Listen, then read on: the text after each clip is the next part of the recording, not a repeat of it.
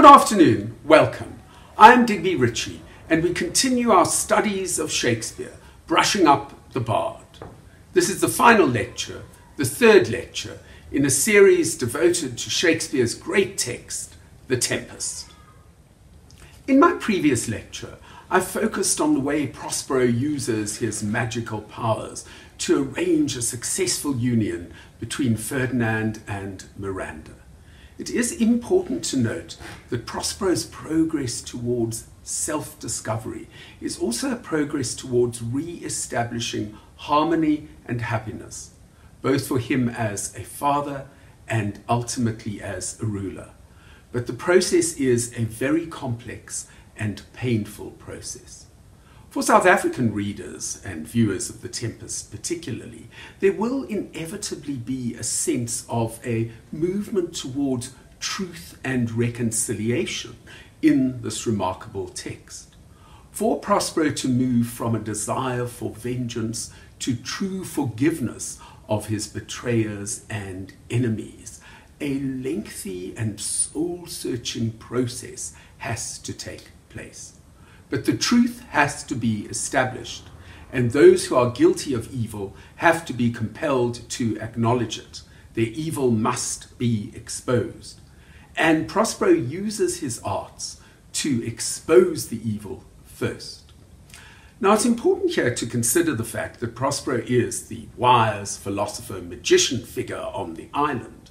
But in a sense, and I've quoted Samuel Taylor Coleridge already, he is the playwright figure too, the director figure on the island. Coleridge spoke of Prospero as the very Shakespeare of the island. And the devices that are used in The Tempest would, in a theatrical production, be enormously effective because there's a kind of meta theatrical quality about them. Our attention as viewers is being directed to the magic of the theatre what we call these days special effects. So it is important to look a little at the whole idea of the mask, M A S Q U E. Masks were elaborate productions performed by aristocrats, even members of royal families, and some professional actors at court. They were particularly popular at the court of King James I, the successor of Elizabeth I. James came to the throne in 1603. And elaborate stage machinery and effects were used to make masks as magical as possible. On his island, Prospero, if you like, is the master of the mask. He stages the extraordinary classical mask with the goddesses to emphasize the fact that marriage must be a harmonious blend of the spirit and the flesh. But he also stages a terrifying mask to reveal to his enemies the extent of their sin in the past.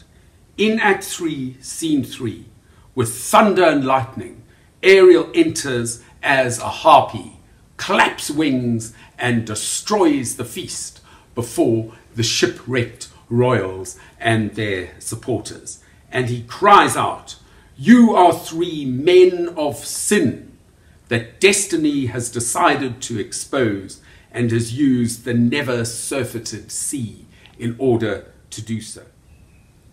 Ariel demands that the wrongdoers fully acknowledge their evil from the past. And if they are going to repent, they must show genuine heart's sorrow, and they must have a clear life, a virtuous life following. Now, this terrifying anti mask, you could call it, this mask of monsters, because remember, a harpy in classical mythology is a really terrifying figure, a repellent hybrid of a woman and a bird of prey, taloned, winged, harpies would descend upon festivity and revelry and foul up feasts, which is exactly what they do here. So Ariel's appearance here is absolutely terrifying. And the effect on one of the wrongdoers, at least, is huge. Alonso is devastated. He cries out, It is monstrous, monstrous. And his guilt stricken mind keeps hearing the name of Prospero and he believes that this is why his son is now dead at the bottom of the sea. We know, of course, that Ferdinand is not dead, but pain and guilt dominate Alonso's mind, and he says, I will seek him, meaning Ferdinand, deeper than ear plummet sounded, and with him lie muddied at the bottom of the sea. Alonso, through guilt and pain, is driven to almost suicidal despair. So the impact of the revelation of the truth is absolutely huge, at least on Alonso. But now, where must Prospero go at this point? He now has to make his choices and move towards reconciliation and forgiveness because one could argue that with the appearance of the wing clapping monstrous harpy, the revenge of Prospero has reached its climax. That was in Act 3, Scene 3. But let us leap to Act 5, Scene 1, and focus on the process of forgiveness. Interestingly, and I've made this point in previous lectures, it is Ariel that prods Prospero in the direction of forgiveness. Shakespeare surely suggesting yet again that in order to forgive those who have wronged us, we have to be capable of using our imaginations. We have to be capable of imagining how our enemies feel and be prepared to forgive them. So, to Act 5, Scene 1. Here Prospero exalts that his project gathers to a head. But Ariel speaks to him of how grieved and even maddened his enemies actually are. The king, his brother, and yours abide all three distracted, and the remainder mourning over them, brimful of sorrow and dismay. But chiefly him that you termed, sir, the good old Lord Gonzalo, his tears run down his beard like winter's drops from eaves of reeds. Your charm so strongly works him that if you now beheld them, your affections would become tender. Ariel emphasizes how much suffering Prospero's art has caused here. Suffering inflicted also on the virtuous Gonzalo, who weeps over what has happened the others are distracted. And notice Ariel suggests that it is time for Prospero's affections to become tender. Prospero asks, Dost thou think so, spirit? And Ariel replies, Mine would, sir, were I human. And mine shall, Prospero declares. This is for me one of the most moving sections of the play Ariel, the tricksy spirit, says to Prospero, It is time. You are a human being. Display humanity at its best. Humanity is not simply about the exercise of power. It is also about understanding and compassion. Show it now. And Prospero, who is fully capable of imagining the suffering of his foes, says, he shall show compassion. He orders Ariel to release the grieved, even crazed victims of his magic, and then Prospero delivers a magnificent speech, very, very important in the context of the Tempest as a whole. In this speech, he talks about the power of his magic, and it is an absolutely extraordinary speech. He says that he has aroused tempests, he has split oaks, he has even raised up the dead.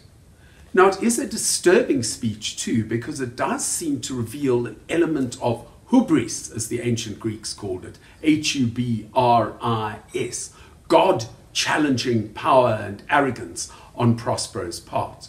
And in fact, this speech and unfortunately I don't have the time to read it to you in full, is certainly inspired by a passage in Ovid's Metamorphoses.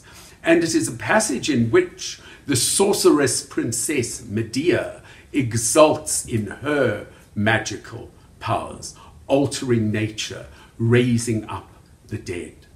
So, what is Shakespeare suggesting here?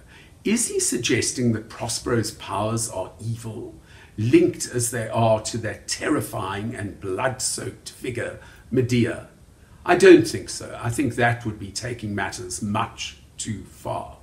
Rather, Shakespeare is suggesting that there is a potential for evil in any power, and Prospero's powers are indeed great. They can be misused but they can also be used for the purposes of good, for restoration and harmony rather than for destruction. And in this speech, Prospero makes the decision to discard his powers. He is going to bury his books, essentially, the very books that gave him these magical powers. He is going to sweep aside secret knowledge and emerge as a ruler, yes, but as a fully human ruler, unassisted by the arts of magic. Prospero insists that he will break his staff and drown his book. Supernatural powers, therefore, will disappear completely. Some commentators on The Tempest make the point that Prospero is discarding his magician status and becoming merely human.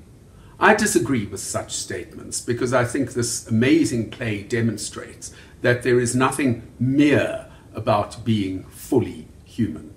But I will deal with that point in more detail later in this address. Now, it's important to note that writers of Shakespeare's time, preeminently Shakespeare himself, but also Christopher Marlowe, were obsessed with the idea of the over reacher figure, the aspiring human being. The human being who wishes to use knowledge even to challenge the gods.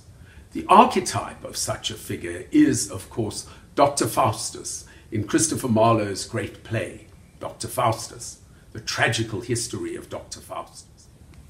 Faustus is, of course, the supreme aspiring intellectual who sacrifices his soul for what he believes will be divine power and knowledge, only to discover that all knowledge provided by hell is illusory, meretricious.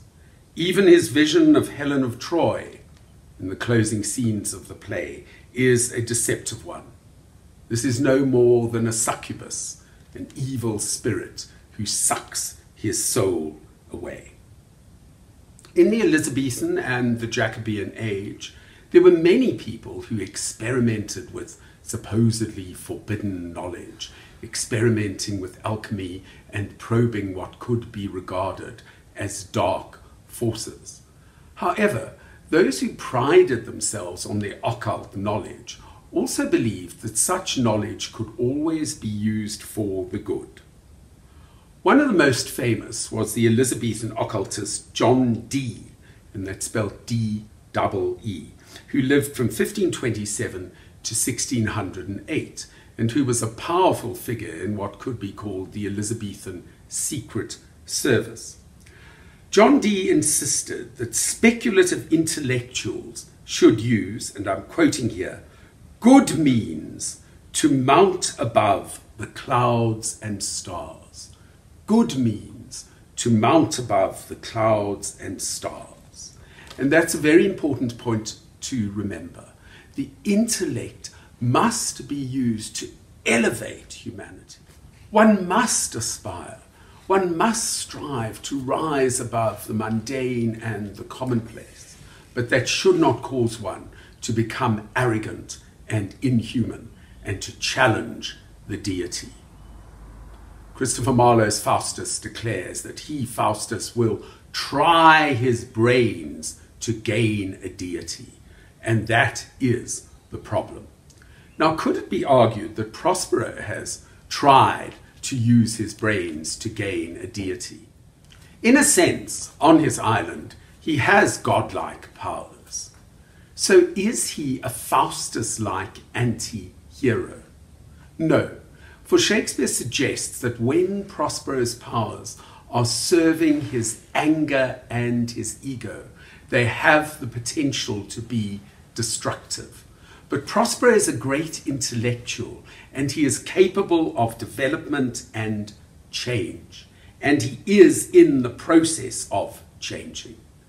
So to affix the label of intellectual anti hero to Prospero, as some commentators do, is mistaken.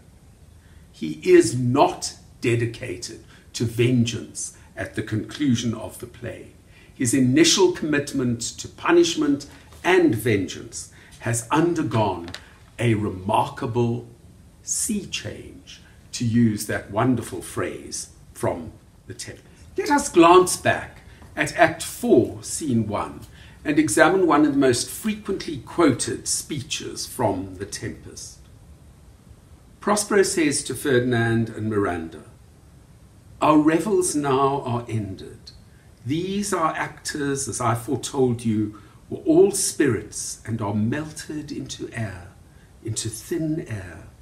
And like the baseless fabric of this vision, the cloud capped towers, the gorgeous palaces, the solemn temples, the great globe itself, yea, all which it inherit, shall dissolve, and like this insubstantial pageant faded, leave not a rack behind. We are such stuff as dreams are made on, and our little life is rounded with a sleep. These are, of course, magnificent lines, and they emphasize that theatrical art fades, disappears very quickly. There is even an in joke about the globe, Shakespeare's Globe Theatre, and our world. The imagery thus relates to both theatre and life. Theatrical spectacle is transient, but so too is life. And it is best that we acknowledge this transience and behave as virtuously and generously as possible during our time on the earth, which is, after all, a short time. It is not simply a beautiful speech, but a profoundly philosophical one. Prospero acknowledging the fact that no matter how powerful one may be on earth, one is not actually a deity, and one's life on earth is limited, and one must acknowledge those limitations in order to be fully human. But this wonderful elegiac speech, this discarding of the powers of the mask master and the magus, this speech is interrupted by the beating of his brain because he feels still rage directed at Caliban although what we could call the truth and reconciliation process seems to have worked as far as Prospero's former foes and betrayers were concerned, particularly where Alonso is concerned, Prospero still has to come to terms with Caliban, whom he persists in seeing as a monster and a misshapen knave. And he punishes Caliban and Stephano and Trinculo very brutally indeed in a terrifying anti mask as well. They are pursued by hounds and tormented. By hunting dogs, they are chased across the island. And remember, at this stage, they're already stinking of horse piss. They have been deceived by gaudy clothing upon the line, and then they are attacked by the barking dogs of Prospero's spirits. The punishment does seem to be pretty complete. But Prospero still has to confront Caliban, who has, after all, planned to murder him and establish drunken fools in the place of power on the island. Jungian and Freudian readers of The Tempest are particularly fond of the line I am about to quote.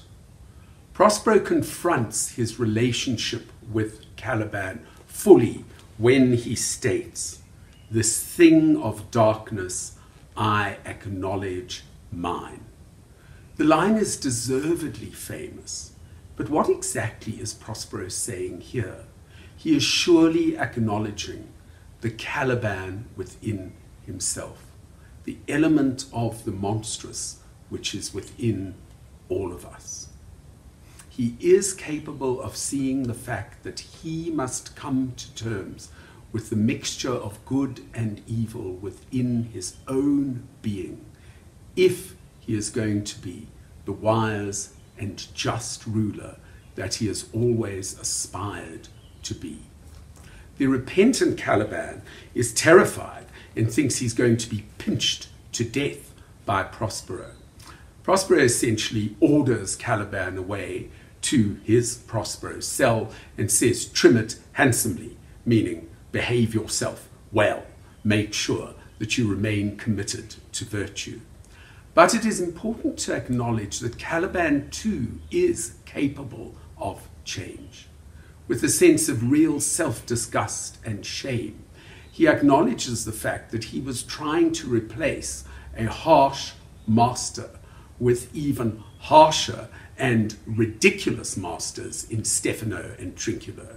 Remember, they corrupted him with alcohol and dreamed about taking him back to Europe to be part of a freak show. And Caliban acknowledges the sad fact that it was his desire for revenge that caused him to be entrapped in an absurd fantasy. A fantasy that liberation can come through two such idiots as Stephano and Trinculo. So, what is very important about examining the final stages of this extraordinary play is to recognize that Shakespeare is very aware that in power relations, if there is going to be harmony and happiness, both those who possess power and those who don't must be prepared to develop and change. Caliban is fully human because he is capable of changing. He says that he will seek for grace, he will strive to be virtuous and to deserve forgiveness. And by acknowledging the Caliban within himself, Prospero has recognized that he is by no means completely virtuous. How could any human being be such a god-like figure? And that he too must strive to change and learn greater compassion. Shakespeare, of course, is never sentimental. The process of truth and reconciliation, the movement towards confrontation with the truth, and after that confrontation, the movement towards forgiveness will never be complete. Alonso changes. He recognizes how wrong and evil he has been, and he is delighted by the marriage arranged between Ferdinand and Miranda. Antonio, however, does not respond to Prospero's forgiveness, and Sebastian still insists that Prospero's powers must be demonic, that a devil is working through him. Remember that very early in the text, as Prospero is reminiscing about the wrongs of the past, Miranda delivers a very important line. She says, Good wombs have borne bad sons. Evil will continue to exist. There will always be evil in the world. The nature nurture debate, which is central to this play, is a very, very complex one. Some people are capable of change, others are not. In Shakespeare's plays, evil is always a matter of choice. Fate, destiny, confronts us with choices that we have to make. Prospero makes the right choice. So does Caliban when he strives for grace. But there are certain people dedicated to evil who are not prepared to make those choices. Transformation will not be complete in our world. It requires wisdom, compassion, and imagination. And not all human beings, alas, possess all those qualities. The development of Prospero is complex and comprehensive.